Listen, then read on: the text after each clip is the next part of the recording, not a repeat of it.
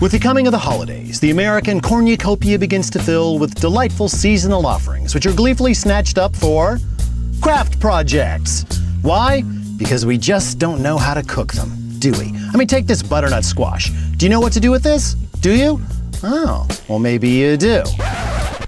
First, we've got to get this thing broken down into parts. So trim off the stem end, then uh, using a large chef's knife, split the squash, thusly using a wooden mallet or even a rolling pin. Just tap the back of the knife until it goes all the way through to the board. It's a lot safer than uh, using arm power. Then get rid of the seeds. Just a regular tablespoon will do the trick. Scoop it out, there you go. I'm sure these have a culinary use, but I can't think of one right now. So now roll the halves over and using the same mallet method, break down into quarters. Very nice. There you have it. Now, once you've uh, done this to uh, both of your squashes, lay out the pieces on a half sheet pan.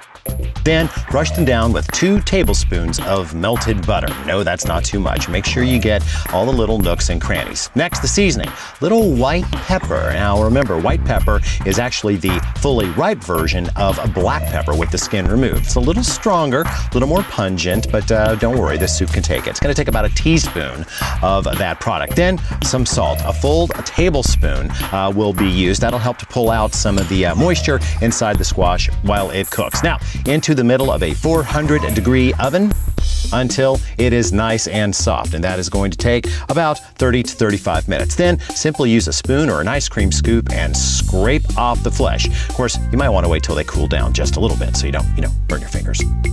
Next, pour in three cups of either uh, chicken or vegetable broth. Uh, add to that four tablespoons of your favorite honey and a teaspoon of fresh minced ginger. That is going to add a, uh, a nice little uh, background note to the soup. Now, bring that to a simmer and then hit it with your stick blender until it is nice and smooth.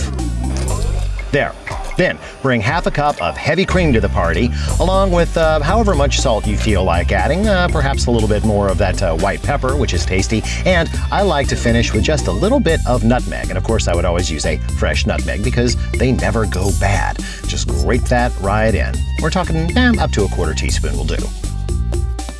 There. One more blending just to uh, combine the spices and serve in your favorite mug or bowl. You could garnish with a little bit of Parmesan cheese, but it's up to you. Hey, straw, that's a nice touch.